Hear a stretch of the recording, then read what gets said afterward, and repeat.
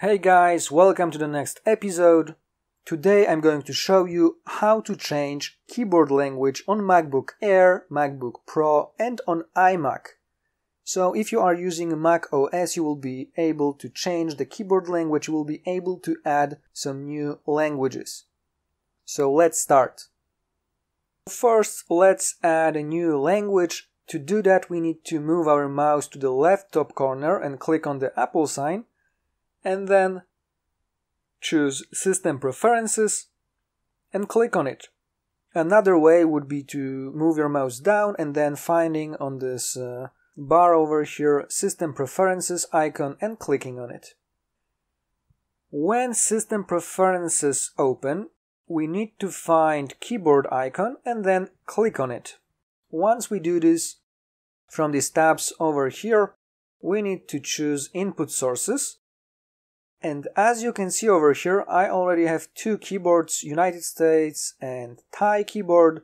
So if you would like to add some new language to your keyboard, you need to click on this plus sign over here.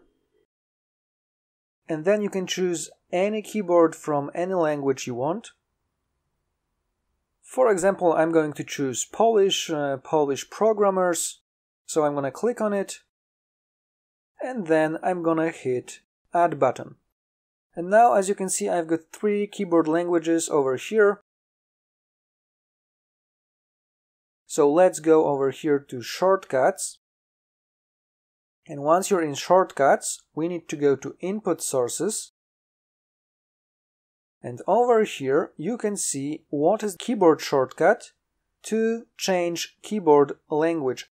As you can see on my computer, it's command space. However, it depends uh, on what operating system version do you have. It could be, for example, control space. To change our language, we can of course use the shortcut or we can move our mouse to the right top corner, click on it and then choose the language over there. Now I'm going to change the languages by pressing the shortcut as you can see on the screen. So once I press command key and I hold it, I can see the list popping out and then I can choose whichever language I want by pressing space button. And for those who don't understand English, I'm going to show you the shortcut on the image. So we have to hold command key and then press space to move to the next language. This is the old way for the older operating systems on Mac, and the new way is to hold Control key and then press space on the keyboard to change the language. So when we hold Control, the list will pop up and then we can change the language by pressing space. That's it for today. I hope this video was helpful. If so, remember to click thumbs up, subscribe our channel and leave a comment. Thanks for watching.